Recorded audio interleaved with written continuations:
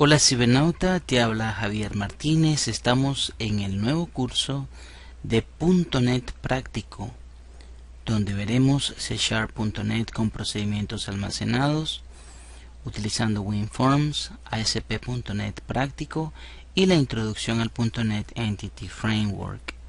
Este curso es creado en www.video-tutoriales.net. Bien, cibernauta. Entonces eh, comenzamos nuestro curso. Vamos a realizar una aplicación sencilla, pero que a la vez te va a demostrar cómo se utilizan los procedimientos almacenados, cómo se programa en tres capas utilizando los WinForms.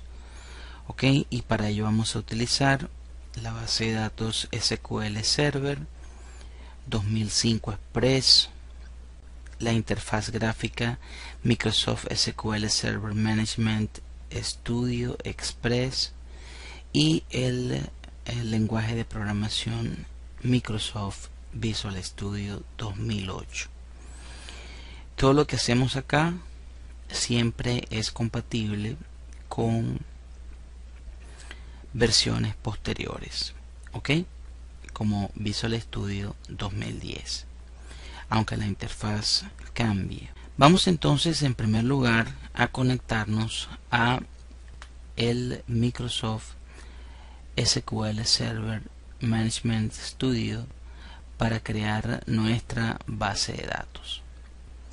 Ok, entonces, como te dije, íbamos a crearnos en primer lugar una base de datos bastante sencilla ya esto que ves acá, esta interfaz, ya la debes eh, tener dominada si has tomado nuestros cursos previos de .NET. O sea que esto que está acá no necesito yo explicártelo, no es nada nuevo para ti, así que podemos ir directamente a crear la base de datos y luego las tablas. ¿Ok? Entonces, para crear la base de datos nos vamos aquí a base de datos ok. Le hacemos clic aquí con el botón derecho y le colocamos nueva base de datos.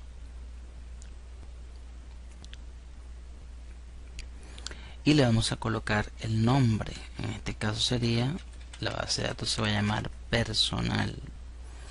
Ok ya esto lo conoces.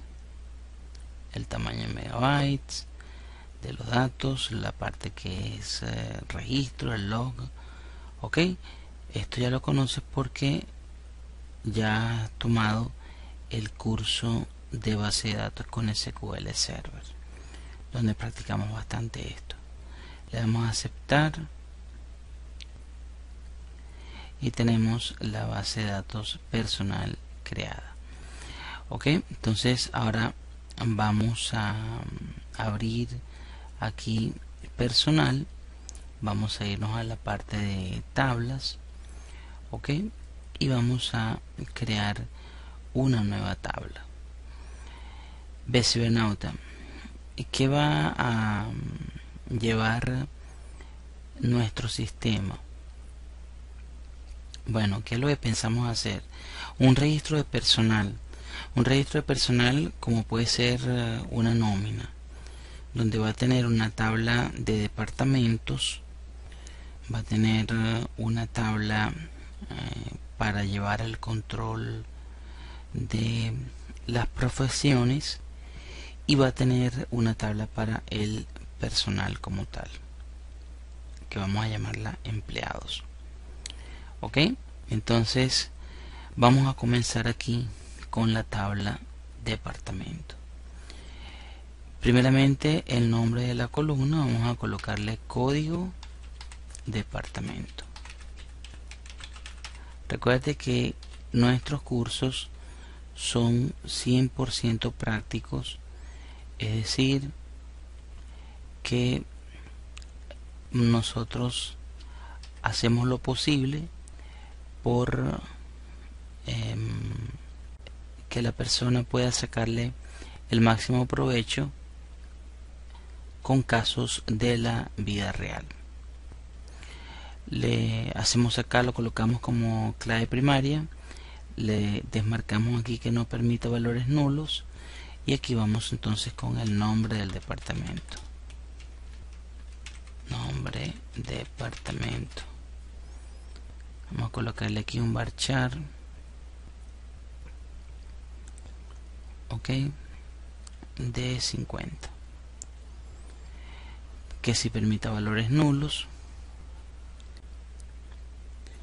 Ok y aquí en lo que mm, tiene que ver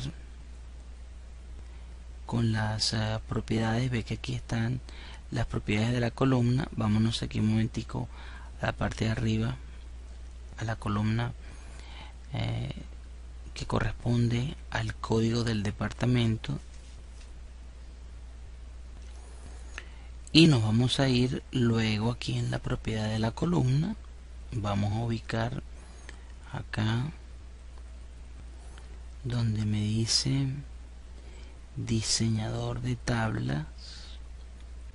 Aquí vamos a utilizar especificar identidad especificación de identidad. Vamos a colocarle aquí en este caso sí. Ok sí le cambiamos allí el valor y le colocamos incremento de identidad 1 inicialización de identidad 1 ok entonces bueno vamos a guardar la tabla. No se va a llamar table 1 sino se va a llamar departamentos.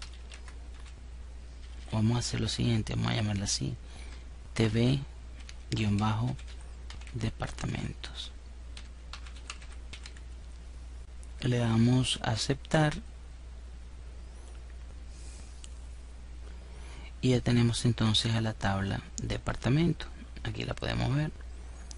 Podemos crearnos una nueva tabla con esas mismas características cibernauta.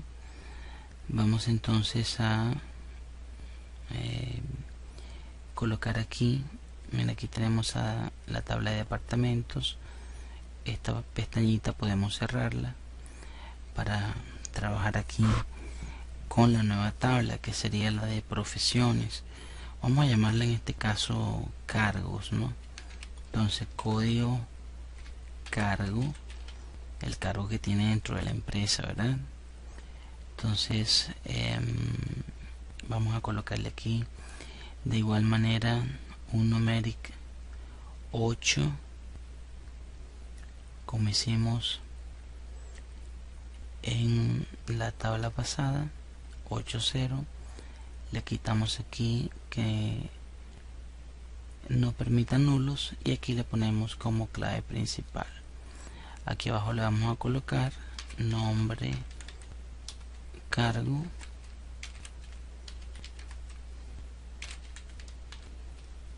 nombre cargo y si vamos a dejarle el varchar de 50 que está por acá por defecto.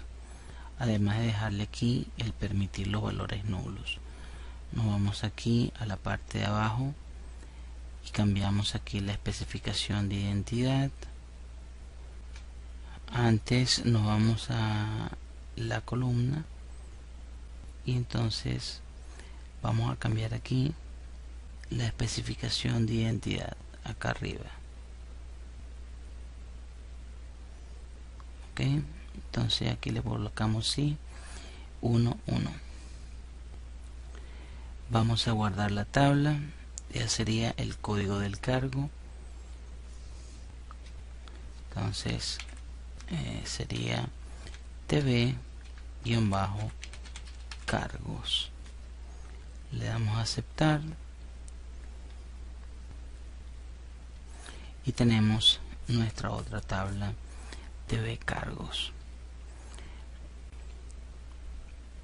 bien cibernauta entonces vamos a dejar aquí abierto para crear la tabla de en este caso sería eh, la base de datos se llama personal pero yo la voy a llamar acá voy a llamarla empleados a la tabla ok y bueno vamos a colocarle eh, unos campos generales ok para poder eh, luego relacionarlas. Recuerda que la vamos a relacionar por los eh, códigos de los departamentos y los cargos.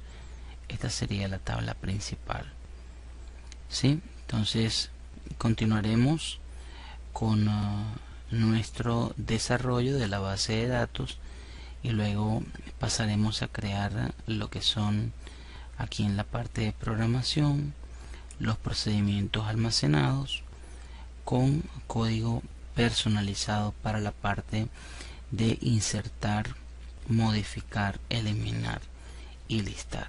Recuérdate que este proyecto es un proyecto con WinForms y que va a ser desarrollado utilizando los procedimientos almacenados o la programación en tres capas.